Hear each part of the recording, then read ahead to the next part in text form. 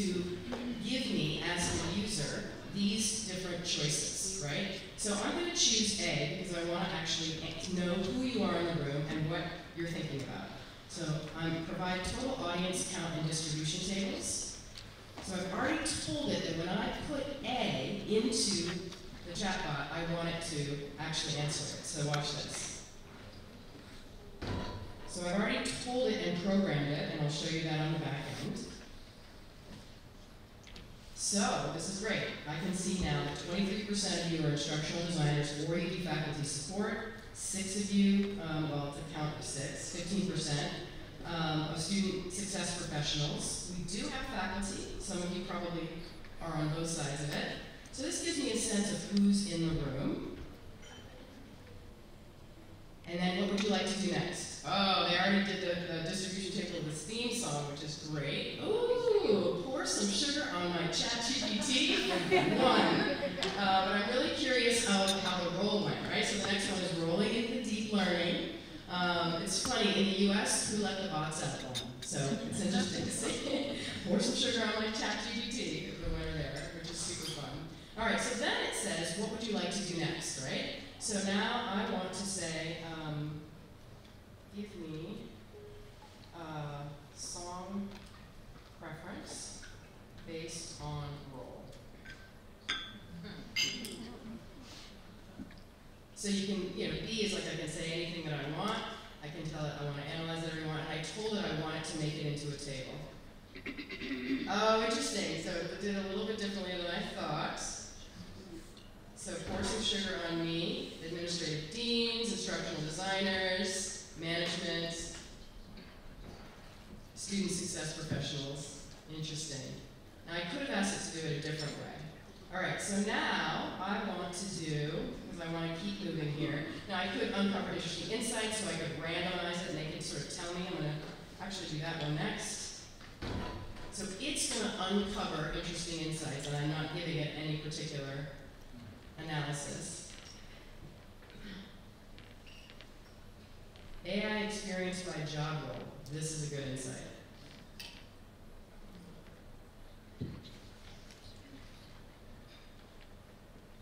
All right, so we could say here administrative deans are more in the beginner realm, more experienced, one faculty member. Yeah, I'm not loving how this chart's going. I think I would want it to flip it on its end and have the role, and then you could see who's beginner, who's not beginner, because that's not really giving me the data that I want. Now, I could um, customize that and ask it to do that, but I think I want to go on to the next thing. But you can see, and I'll show you under the hood how I did this. Now, my favorite part is output an image and a short poem. Oh no, I know what I wanted to know. Um, how are, give me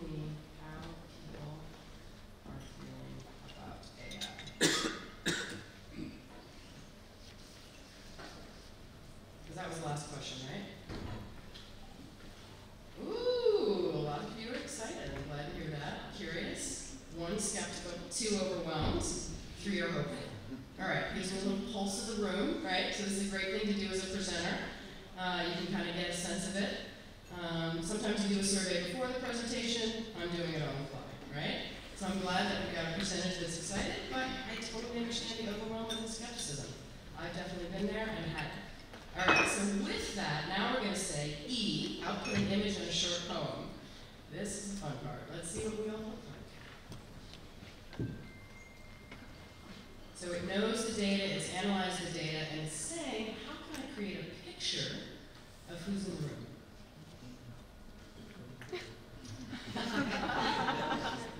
Very interesting.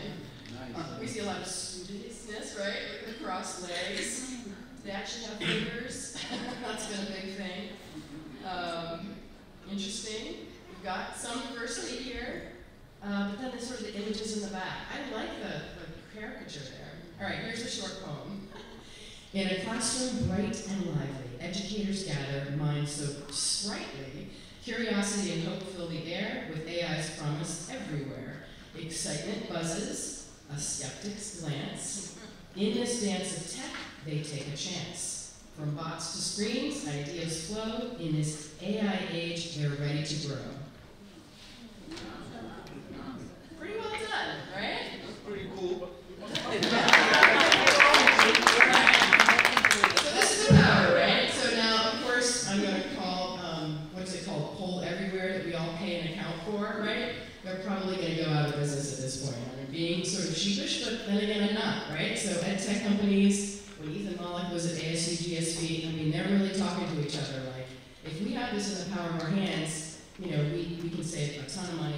Also a ton of time.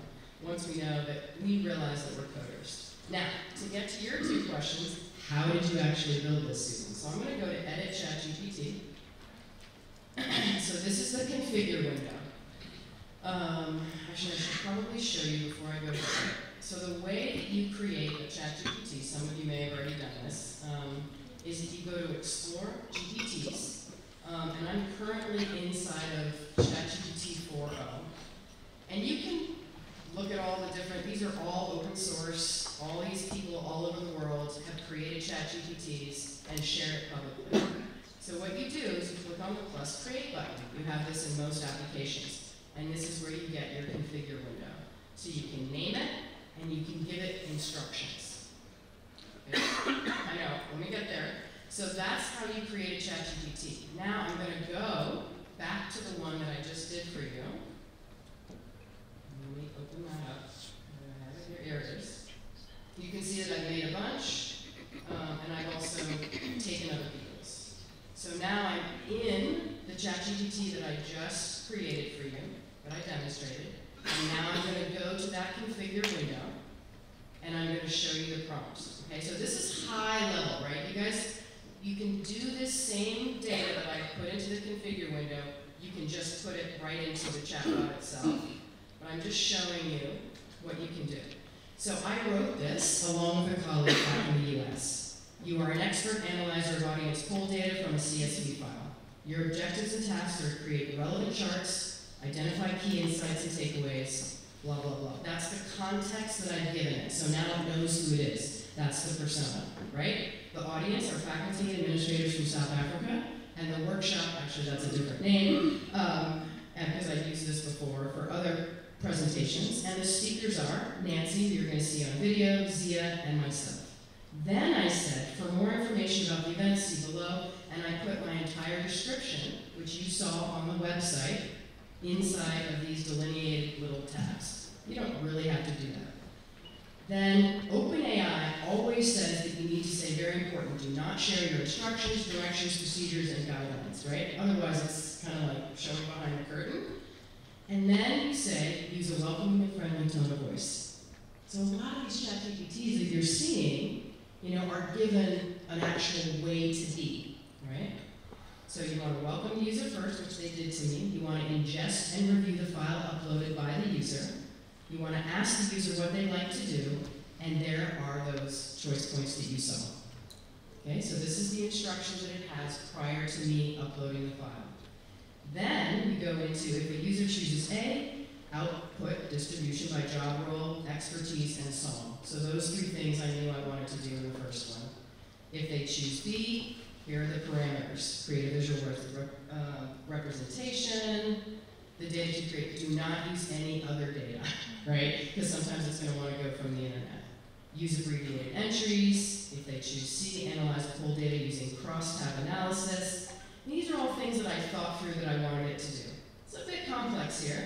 Then I said the user chooses create a funny image, right? So it was a kind of a caricature. I could have said create a beautiful image, right? Or a photo-like image.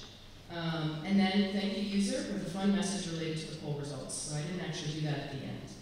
So these are the pre-loaded instructions in the configure window of the ChatGPT create button.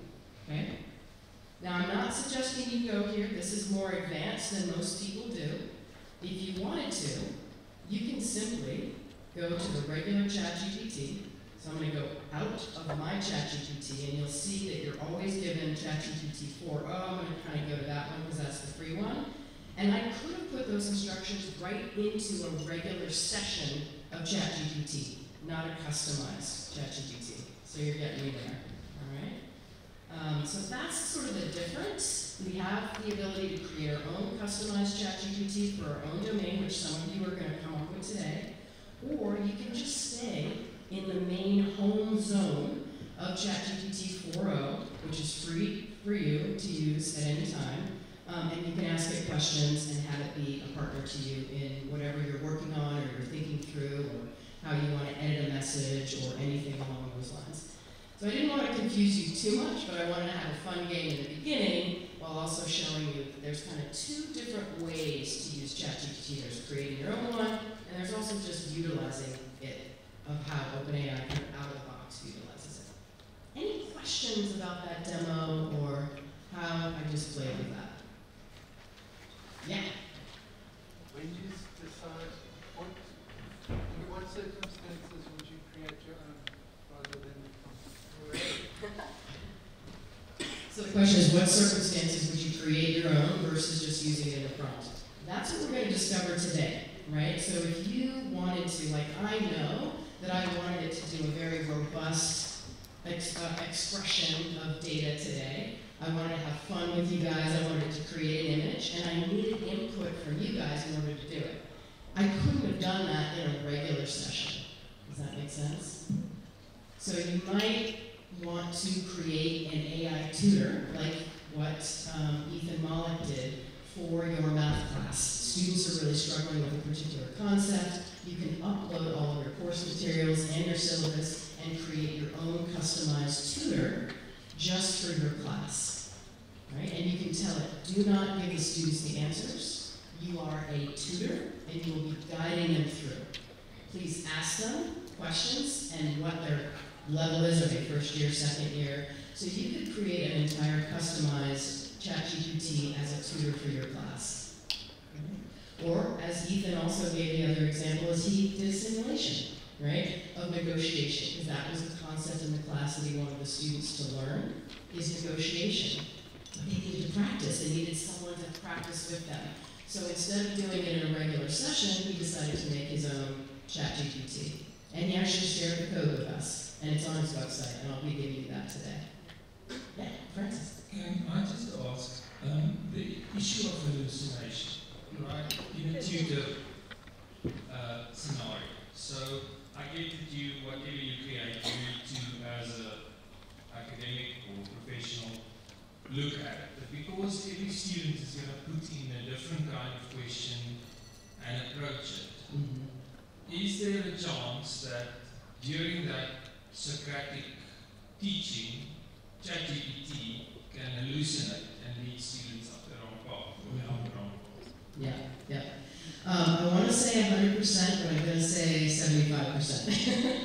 so about six months ago, the hallucinations were off the charts. They were not, they were happening a ton, right? Because it was training, you know, the data sets were not what they needed to be. But because it's now in the hands of the masses, it's getting better and better and better. And the hallucinations are getting less.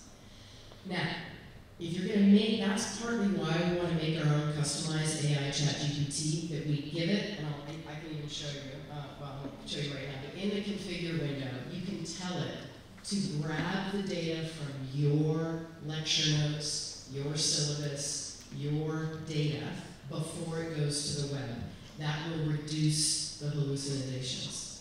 Now, this technology is getting better and better literally every week, but it's not there yet. So you have to give a disclaimer to your students and say, I'm going to test this, this tutor, and you need to be critical, you need to interrogate it, and I want you to know that it's going to lie to you.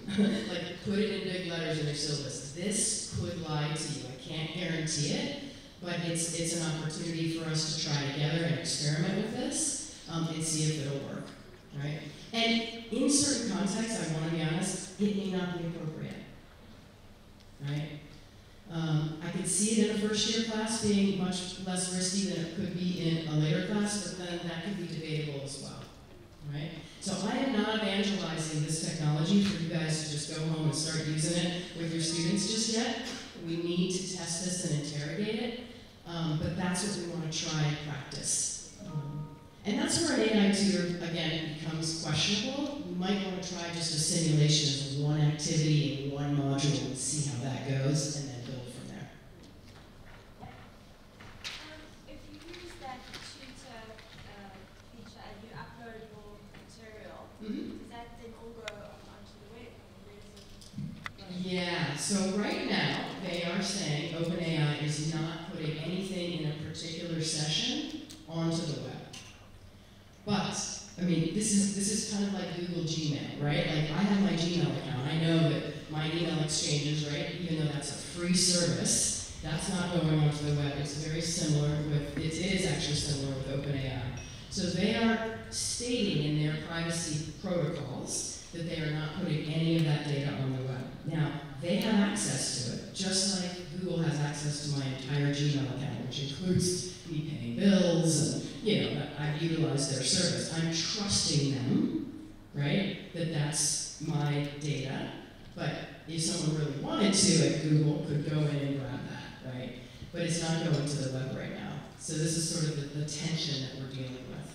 Um, and that's where you get to decide what level of risk are you willing to take. Yeah. And obviously, in, in answer to kind of Francis's question too, if you're ever going to upload materials from your institution, they need to be anonymized, right? So you're obviously not going to put, you know, student information system data up there. You know, that's an important thing to understand with this.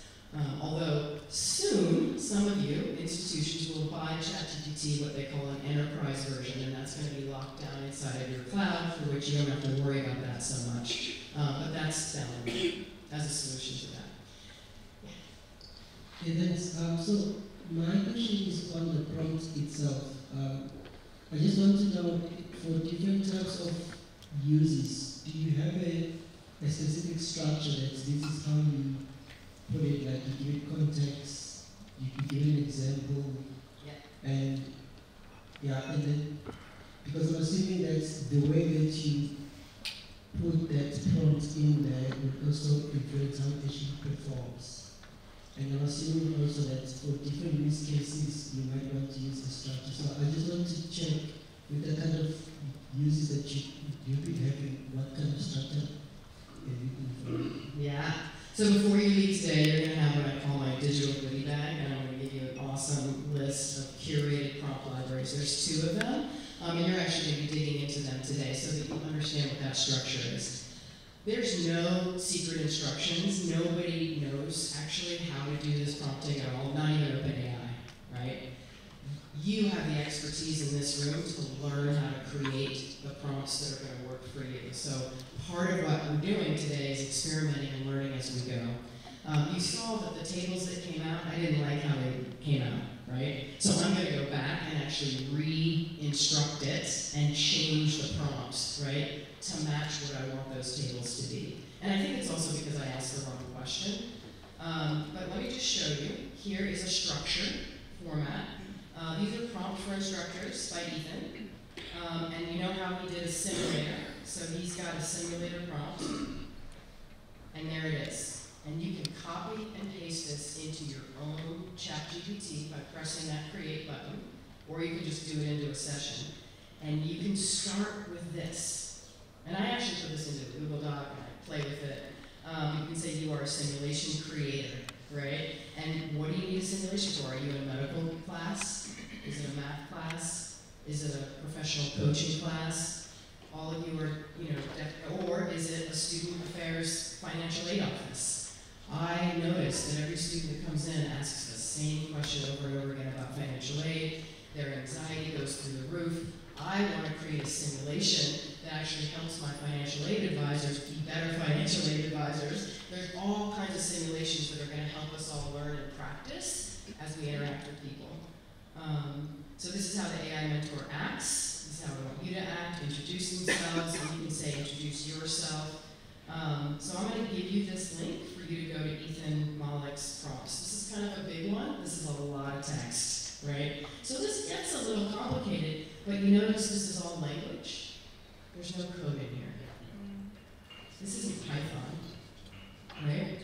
I, I, I don't think of myself as a mathematician, but I'm starting to get that way more, um, which is wonderful, and I feel way more empowered than I've ever been before. I, I gave up on this. How could I ever do this, right? So let's look at another one. Um, tutor blueprint. So we've been talking a lot about tutors, and when he uses the word blueprint, right, this is actually meaning that we're going to ask ChatGPT to create a code, a, a, a um, actual prompt to create a tutor. So this is the way to do it, and he's giving you those instructions. So if you want to create a tutor, you go to the tutor blueprint. I'm not going to share too much more of that here. Teaching assistant. right? Helping you grade. Um, this is a different way to look at it. So this is going to start to help you recognize how do I prompt, right? But I think where we all want to start is what is the problem that is plaguing me and my department and my team every single day for which I could create an AI assistant that's going to help solve that problem. And it could be a problem in your workplace, like actual how your team is working, or what is the problem the students are having for which this could be solved. I don't know those answers, but coming up with the problem first is going to. Any other questions? Perhaps it touches on the question that the previous colleague of mine just asked now. Yeah? I want to speak about the limitations of the app, of the prompt itself. Mhm. I mean, if you look at the, now this might be for the previous versions, the fact that it's not up, the previous version is not up to date in terms of it only ran at a certain time. And then secondly, the fact that you just said it might lie to you. Now what I want to know is, um, as a result of those, those are part of the limitations. And I want you to tell me perhaps other limitations that are there the prospect of when and how they should probably, because you did indicate now that it gets updated every week. So I want you to speak about the limitations, like the ones I mentioned, and then perhaps come up with the prospect of when those can perhaps be expected to be, just on, from your side. And then the second question is, when do you think, um, because we always discourage students from using it and all of that, when do you think the red flag like when should we say it's getting scary? When will that be? When do we get to a point where we're like, no? I'm just asking, one is just very. Sorry, yeah. Uh, what, what's the book I'm reading right now? Uh, I should look it up. Um, yeah, I'm reading a lot of science fiction right now, and sometimes not sleeping at night about where we're going to go with this from sort of a societal perspective.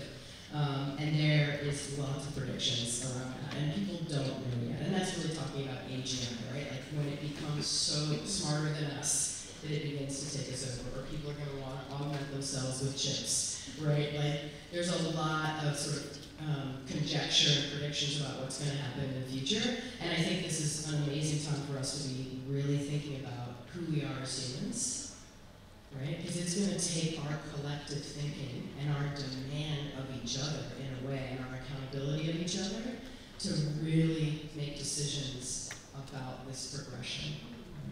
And that tension between, in my case, Silicon Valley, which is probably your case too, um, and human society is the tension that we're watching. I mean, I am jumping out of bed every day reading the New York Times. I am on a Slack channel with a community of people. We are curating articles, and we are watching every moment that OpenAI puts out another product, Apple Intelligence puts out another product. I mean, this is impacting everything right now. And so it's hard to think what is the future going to hold. Um, now, we can stay in a dystopian ideology, or we can stay in a utopian ideology. And I don't think either extreme is going to serve us right. I think we need to stay in the middle or somewhere, right?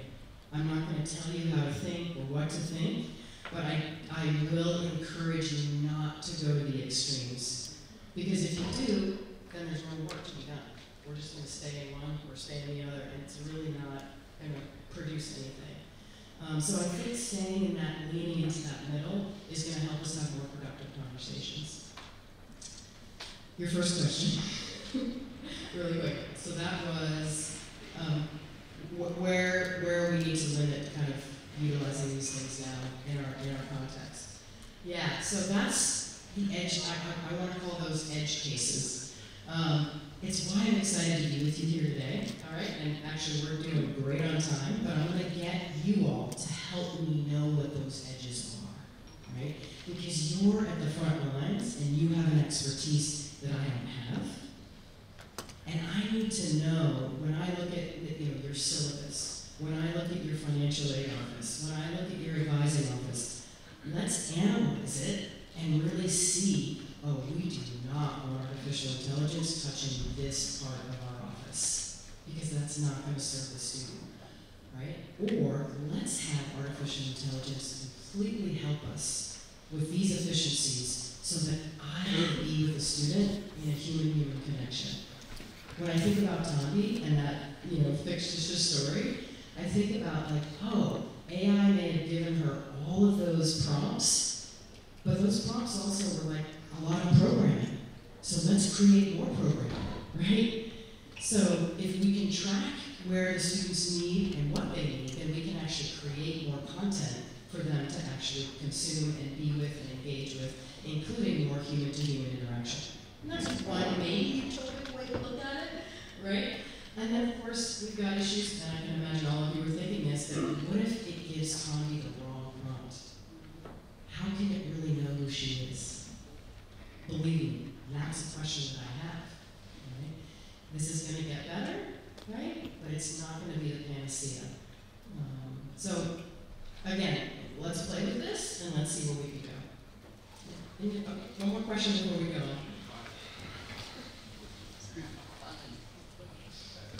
Just a modest contribution from, uh, you know, from my colleagues, um, instructional designer to teachers. Uh, in terms of the question on, you know, whether the limitations and also the hallucinating, uh, in terms of tutor. Uh, uh, this is what I would say, right? This is a tool students are probably going to have to engage with when they go out into the world, right? The real world when they start working and all of that. And we're saying we want to create critical right? We want our students to develop and become critical thinkers. I don't see it as a minus if the thing has hallucinations. I actually think that could be a plus for the activity itself.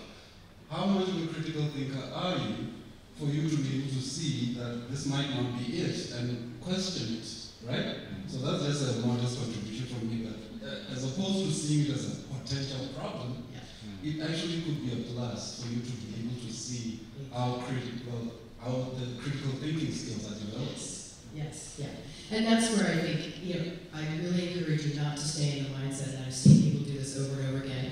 They put the question in, and it comes out with a hallucination, or it comes out with the wrong answer, and then they say, oh, I'm never going to use ChatGPT. It's just, it's not perfect, right? If, if you think that it's going to be perfect, then it's not, you know, you got to get out of that mindset. And I think that's where I love what Ethan said. He said, and I spoke to it yesterday, you must correct it. It's learning from you, and it's going to keep learning from you. So those feedback loops, too, it's like a student, right? So you get to be a critical thinker. And so those faculty that are placing this in the center of the classroom, you are required to use ChatGPT, and I want you to tell me what happened during your session. Was it correct? Was it not correct? And that critical thinking gets to happen in real time, and then when they get out in the real world and they have to use ChatGPT in their jobs, um, which is likely to happen, or some form of AI, they have that ooh, I need to interrogate this because it didn't work for me in the class previous. So yeah, it's a great example of how we can mitigate for that, at least right now, right? And that's going to change over time. One more question. Thank you. Yeah.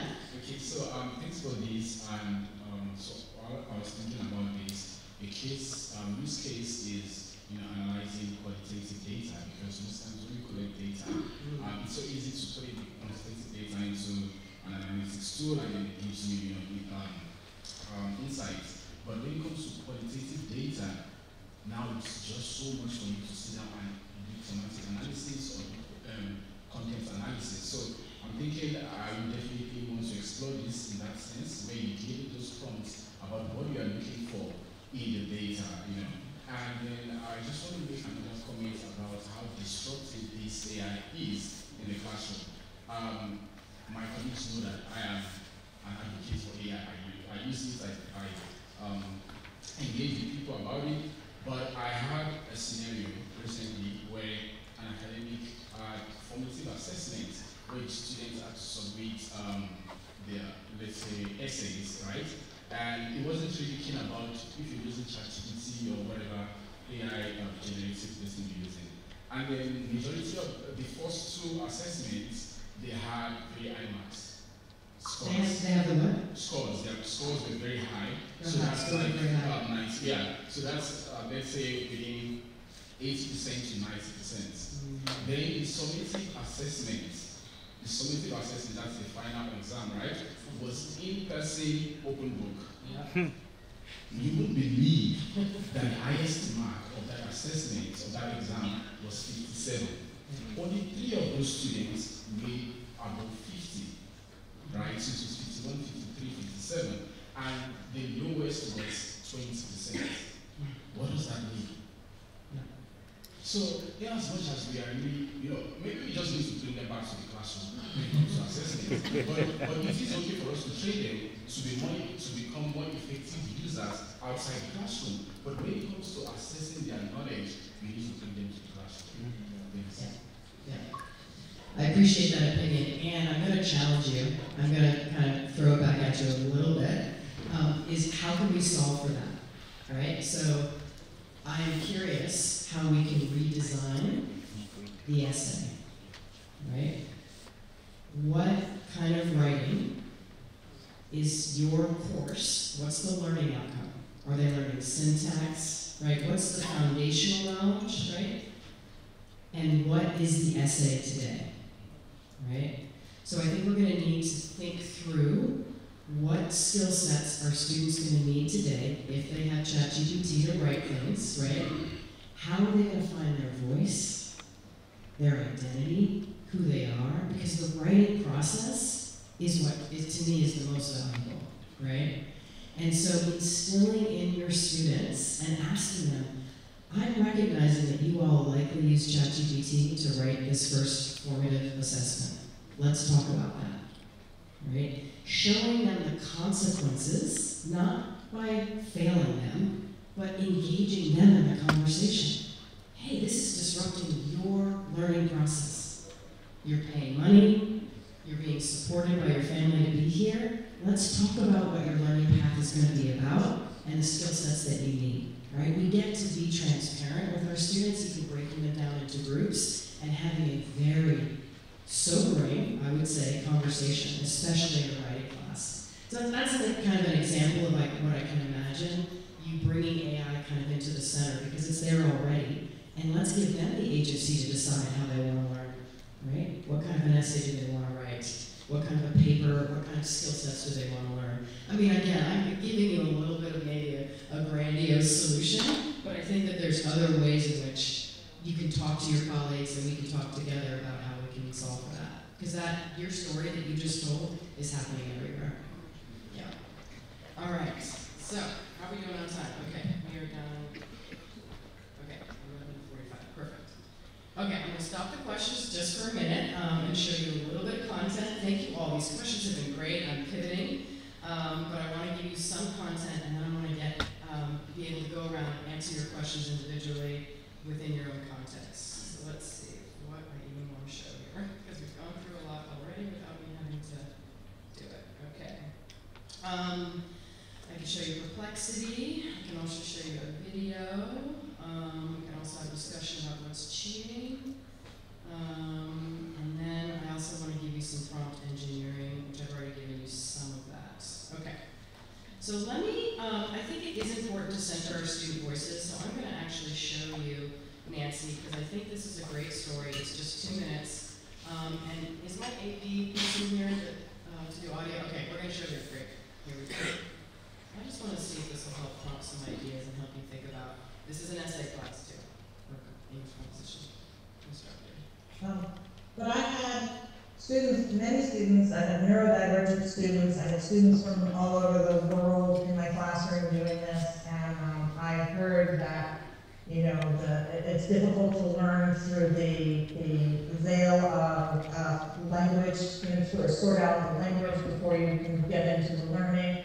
Um, so speakers of, of other languages, um, use chat, they used it to try to decipher how to what the words are mean, what the instructions mean, and sort of translate it for them, and then they know, and then they dig in, and then they do it. So um, the neuro, I had a student who was pretty deep on the spectrum of autism, and she was very clear about the fact that she um, uses AI to help her because one of her issues was she has no filter, so she would say things very bluntly that would upset everybody else in the class, but she wasn't meaning to. It was just the, the way that she processed information and then repeat and, and spoke. So she used chat to say, how can I say this in a more socially acceptable way? And chat would give her a nicer way to say it, and she would respond like that. It worked beautifully. Um, I had a, I had a student from Iran who was telling me that he he and his his whole study group come together and they use it to sort of figure out, you know, how to, again, the language, barriers, the differences, and um, not to cheat, none of them cheat, you know, I think faculty is often afraid that they're gonna cheat, you know, but there's always somebody who's gonna cheat, right? We can't play to them, we have to play to the students who are there to learn, which I think are certainly the majority of students. So in terms of ethics, there's a couple different ideas, right? You know, there's uh, the ethics of balancing the playing field for students who are neurodivergent or don't speak English as a primary language and are in the same classroom as people who do. So that, that there's an ethics to that as well. Um, so yeah, it's I, I, I'm, a, I'm a fan. We do need to be careful with it. We need to learn about it before we learn start using it. And I think it's important for our students to learn what it is and how it works before they use it. That's our thought. So one of the things that she students is understanding that AI is predictive analytics, right? All it's doing is predicting the next word in a sentence. Um, so she does a really great activity on her first um, day of class, although she, I think she's doing it less now because students naturally know it, um, where she had paper bags on a table, and it was the internet. And she had one question uh, which was, what does the U.S. government know about extraterrestrial life? And she actually did the research using ChatGPT to find out what fictitious answers were to that question, conspiracy theorists, and then she had scientific fact, and then answers that were in the news. And she color-coded all of those answers and, and cut them into strips and put them into the bag. And she had all the students pick the different sentences. They could only pick five. They had 20 different answers in the paper bag. They picked five, and those five were considered a ChatGPT output, and they had to put together an answer that kind of aggregated all of those five. Then they all gave their answer. This is what extraterrestrial life is like. Um, and then she revealed to them how many of your strips are orange. Those are conspiracy theorists. How many of your strips were scientifically backed, evidence-based answers? And so they all got to see in a tactile way how AI works, right? That you're going to sometimes get conspiracy because it's just predicting the next um, le- letter and even actually the word in a sentence, right? So it's not filtering for anything viable, right? Now that's interesting as a baseline to understand it. But then perplexity came out, and I wanted to show some of you this because I think you all were asking me um, about perplexity. Now, the difference between perplexity and ChatGPT is that it still predicts the next sentence or the next word in a sentence, but its model, okay, so there's the data set and then its model, which is the LLM, is the configuration. Like you saw me give it my configuration to my ChatGPT, that's the model for which I wanted it to behave with the data. So Perplexity is a great product, um, and a lot of academics are utilizing it. Its model is to very much privilege in the data that it grabs cited evidence-based articles. And it's doing pretty well. So I asked it, how is artificial intelligence impacting universities in South Africa? and it gave me a narrative answer here. But next to each answer, it gives, actually it's not doing it here, at the top it gives the sources. So if I click on the first source, is that a reputable website? Is that real? Yeah. Okay. I, I haven't I haven't seen this before, so it's good for me to know from you guys, right? So that was its first source. And it summarized that as part of its narrative. So I like that it's actually, and I can feel confident, okay, here's another one, right? Now this guy's, I love this. Traditional contact universities need to adapt faster and find creative ways of exploring and exploiting AI or lose their dominant position. Definitely a strong viewpoint here, right? So now I'm going to click on New Thread, and it blacks out everything. I kind of like this interface. Does anybody have a question they want me to ask? Perplexity. Just to give a quick demo.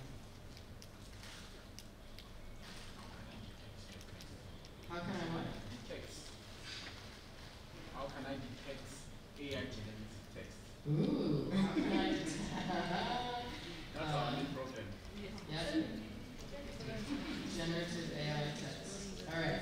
It's gonna. Um, yeah. Let's see how this goes. So OpenAI shut down its AI detector software because it's coming out with so many false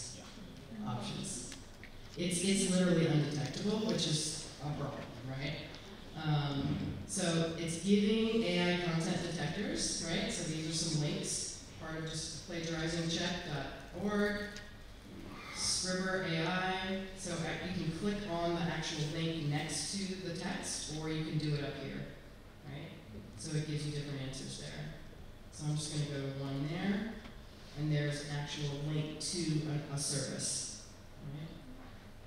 I will say in the U.S., students, and I, I don't like to use the word traumatized, but they're being brought to the principal's office way too often, right? And they're trying their best. And this is why I'm encouraging a transparent conversation and really have a relationship with your students. You know, did you use AI and how did you use it? Rather than you're going to the principal's office and you're, you're I'm failing you. Like uh, faculty are going to such extremes um, because it's kind of a knee-jerk reaction? Um, and I, I have so much empathy for you. Like COVID, you had to redesign your courses for online, right? Now with, with uh, generative AI, you're having to redesign your courses all over again. Believe me, this is not easy. Um, this is, you know, this is going to be a marathon. This isn't a sprint. Okay. All right. All right. I think I want to get to our activity. Oh, and just to give you, um, here are some articles. Um, Vanderbilt did a whole guidance on AI detection and why they're. And so a lot of universities are moving away from that direction. It's also biasing non-native speakers and students with disabilities because their language is not very complex, so it thinks that they're cheating, right? So there's a lot of issues happening with the, you know, it's kind of the fading promise of AI detection is what I call this slide. Um, you know, again, keep telling me what you're seeing and what you're doing, but I encourage us to kind of go to a different level of adjustment because if we can't detect it, then we can actually expect more of our students. If they can just get declarative knowledge, let's have them prototype something. Let's have them go into their communities and do project-based learning, right? Like, let's expect way more of our students now. In seven weeks, if you have a condensed class, you know, have them do the business proposal, you know, draft with AI, but then they're actually going to go into the community and interview and prototype and learn about personas and, and get a business plan going, right? Like, that's what you get to do now. And that's what's called better pedagogy, right? These pedagogies are complex. Project-based learning is a huge uh, undertaking, right? But now with AI assisting in other elements, the foundational pieces, then you can actually scale some of these pedagogies we've tried to support you on for a long time.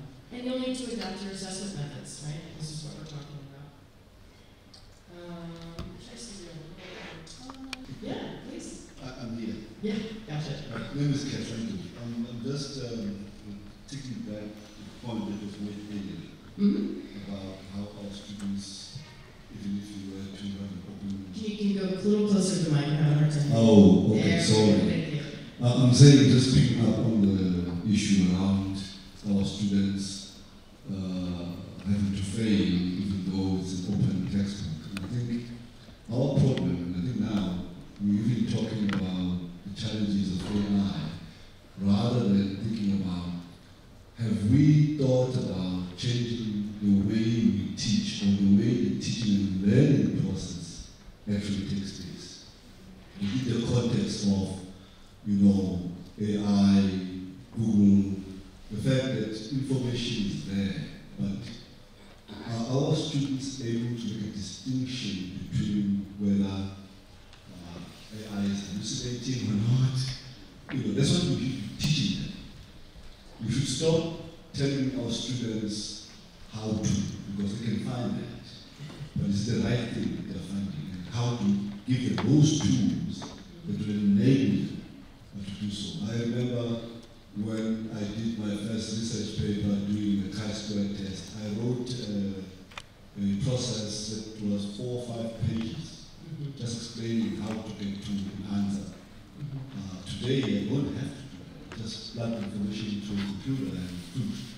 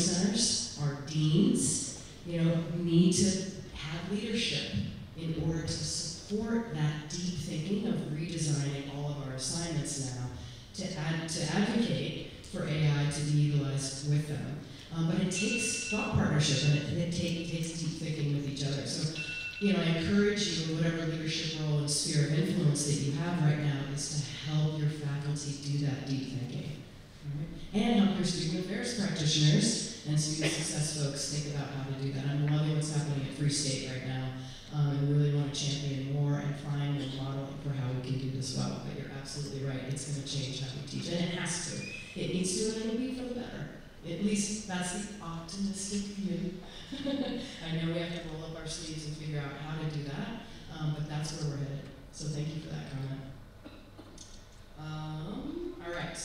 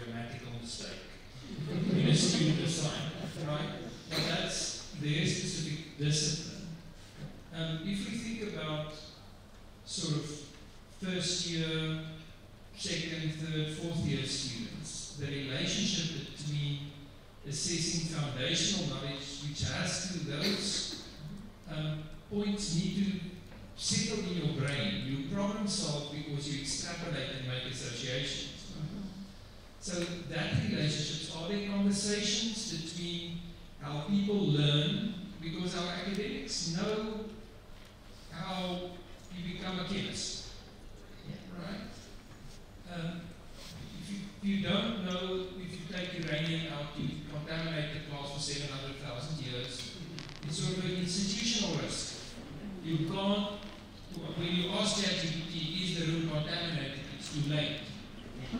Right? so the relationship between the foundational knowledge that students need to know is where a lot of academics are struggling at the moment mm -hmm. because they, through tradition and history, have developed a tacit understanding of what it takes to become good at a discipline or whether it's a good architect or whatever. Mm -hmm. So where are those conversations? Are there resources for that we can look at? Mm -hmm. Yeah, thank you, Francis. I, I, I don't know what, want to say there's resources for that right now, but I believe that the margin, so the question of what is the margin for AI-assisted learning in a chemistry domain for a foundational first-year class is not to use AI. You need to bring it into, bring, not bring AI into the classroom, but the testing needs to be done in the classroom with no access to ChatGPT, right? So each domain or each discipline gets to decide whether or not the assessment can use ChatGPT or not. So in those foundational cases, and especially in writing, we don't want students to use AI. Now they're going to use it at home, right? And you know, and we can instill in them to say we don't want you to use it. We have to give them the agency to make that choice. Some of them are going to cheat, and they're not going to learn, and they're going to fail, right? So you have to be the steward, right, of instilling in your students a couple of choices. One, you could cheat. I'm giving you a take-home exam, but I'm telling you you're not going to learn foundational knowledge, and I'm not going to feel confident that you've not cheated. So I'm going to give you a test on Friday at 12 noon that's in the classroom. And that's, you're just going to have to bring it, I'm not going to say you're just going to have to, but we're going to need to bring it into the classroom or do an online proctoring for those foundational disciplines. Um, that's the only answer I have for you now. Um, so I wish I had a different one, but that's kind of what we're dealing with, is we might have to go back down to these lockdown browsers, the blue books, right, for some of that foundational knowledge. But I'm hoping that we're gonna evolve as a species into this and that students are gonna recognize where they're gonna be compromised if they cheat, right? And giving them that um, inspiration to not do it, right? So, um, but I, I would love to also hear anybody else's solutions. You know, I'm not the expert here, but I'm um, trying to help you solve for some of these things. Okay. Oh, yeah. Okay, thank you. I, I think I'm audible. I, Okay, just a second. uh, I think going back to what the speaker has said uh, about uh, integrating AI in the classrooms, uh, I've once tried AI, I'm, I'm actually trying it every day. So instead of saying, let's take students back to the classrooms, I think it's better. I like what uh, in the North-West University language uh, lectures did.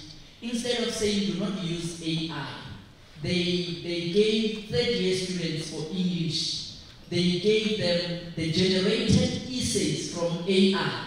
And then they said to them, analyze whether AI was correct or correctly or incorrectly applied the literary lenses on this essay. Number one, AI doesn't put in text references. It doesn't in text reference, and even the structure, it doesn't, it's not a, a, a well academic structure. So you can, you can actually see if the student used AI on the essay without references. And then also, what I did is I asked the AI, can you also put academic sources? And it gave me academic sources. It gave me academic sources whereby, but also as, as students, we can just take five minutes or two minutes to generate the whole essay and then take five days to paraphrase the whole essay so that the lecturer doesn't see if uh, I'm telling you, uh, Turnitin won't detect one percent plagiarism because you take time in paraphrasing and then five minutes in generating. But if, if you tell the on the on the assignment or whatever you are giving the student, you tell them to evaluate the AI generated answers. There's no way AI can give that answer.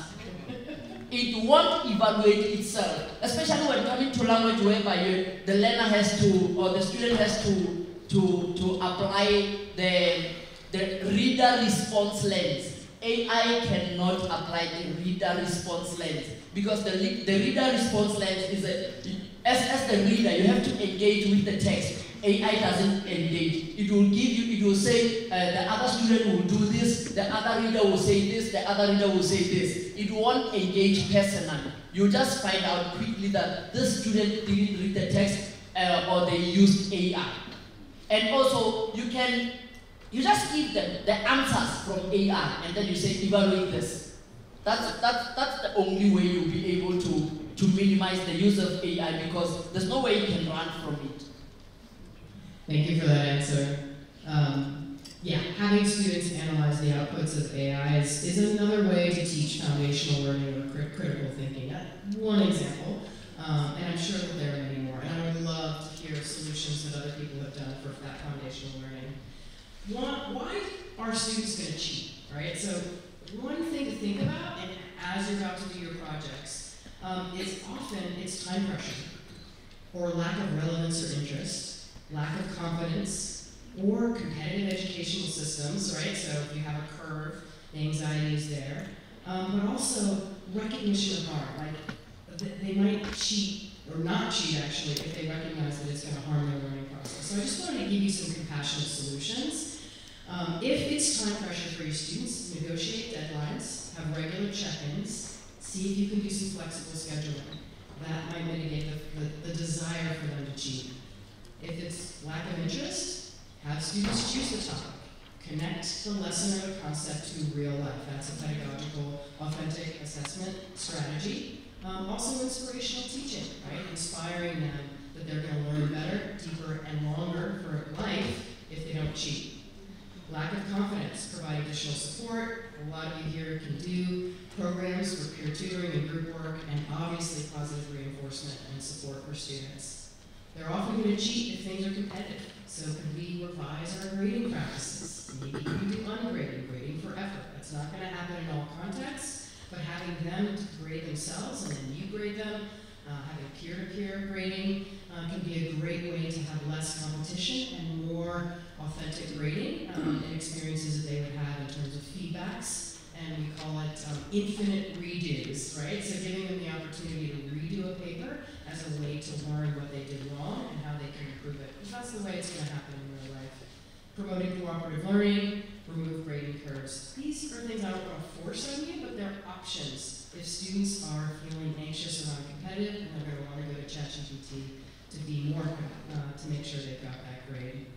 I love this recognition of harm.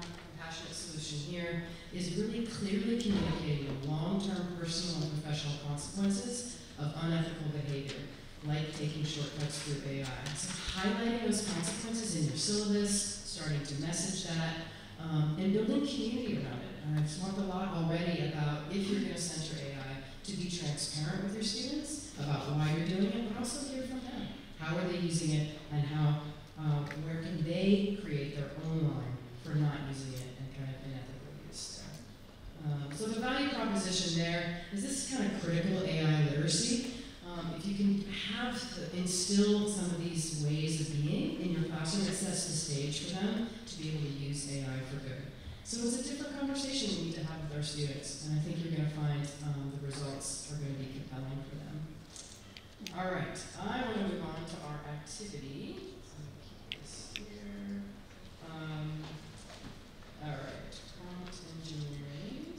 So I'm going to give you guys a digital goodie bag um, that's going to include this in it, um, which helps you think about the 5S model for prompting, kind of give you some basics. Um, I want you to be able to um, see this. I'm going to give you a uh, QR code to download this. Um, you want to set the scene, be specific, simplify your language, structure the output, and share your feedback. You have a thumbs up and thumbs down in your ChatGPT. Um, and I'm hoping every table will have a laptop um, to be able to work on this activity together. Um, and you're going to be able to download this to sort of help you think through how to do some prompting and start to play with it today. Um, effective prompting, right? An okay one is a lesson plan about multiplying fractions for fifth graders. A better one is act as an expert, mathematician, and a teacher skilled at designing and engaging, engaging learning experiences.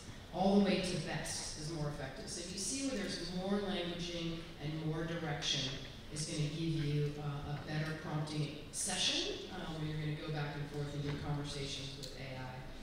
I'm rushing a little bit because I want to be able to give you guys time to. Um, so you want to make sure accuracy, relevance, completeness, and understanding that there's bias are considerations for tracking those outputs. All right, I know I'm jumping around, and let me just make sure I've got it right. Okay, so what I'm going to give you guys is your worksheet. You're going to be downloading this, but I want to explain it to you as we start.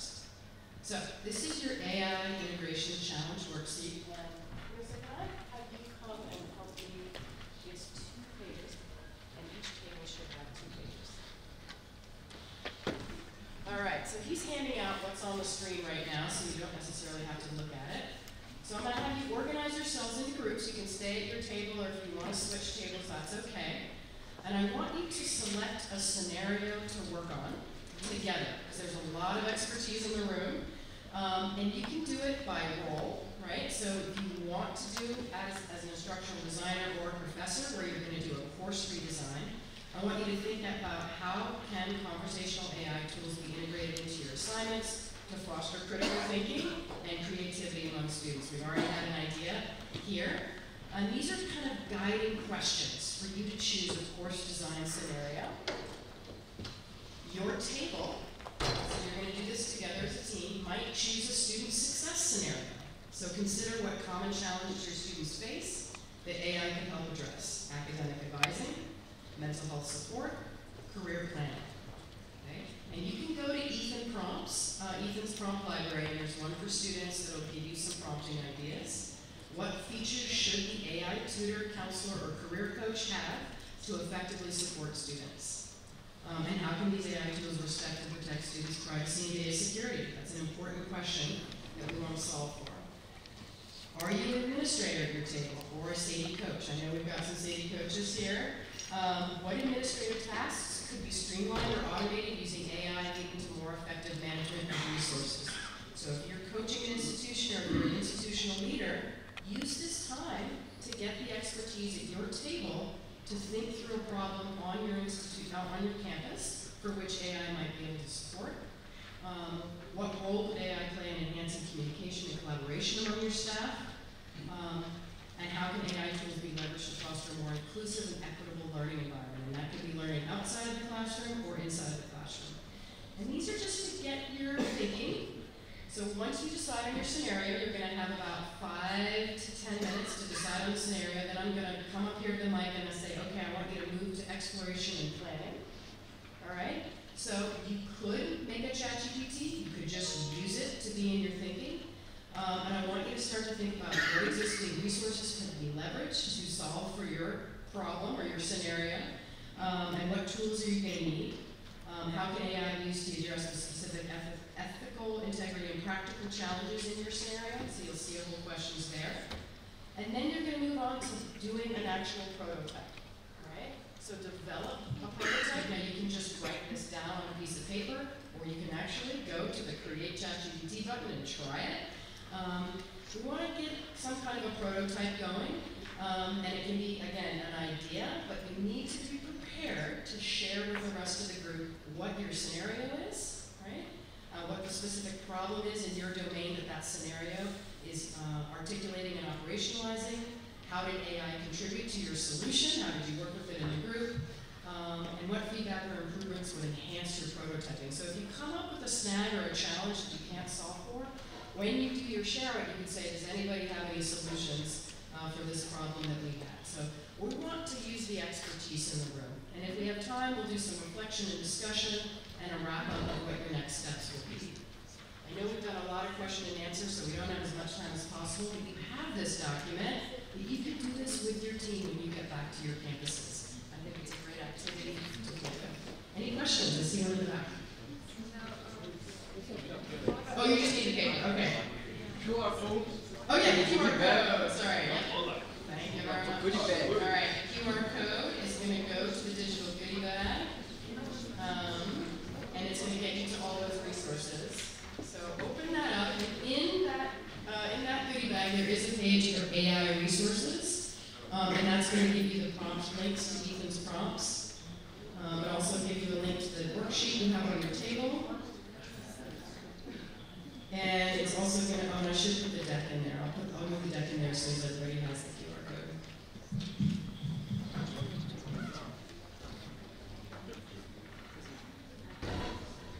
All right, we have about 40 minutes. I'm going to give you 10 minutes to come up with a scenario, 20 minutes to kind of work it out.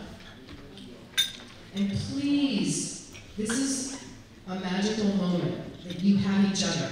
So please work together and find your expertise in the room because you're not going to be sitting at this table ever again. Uh, so please be efficient and effective in your communication. Be concise in your communication, okay? And move through the different steps. Question?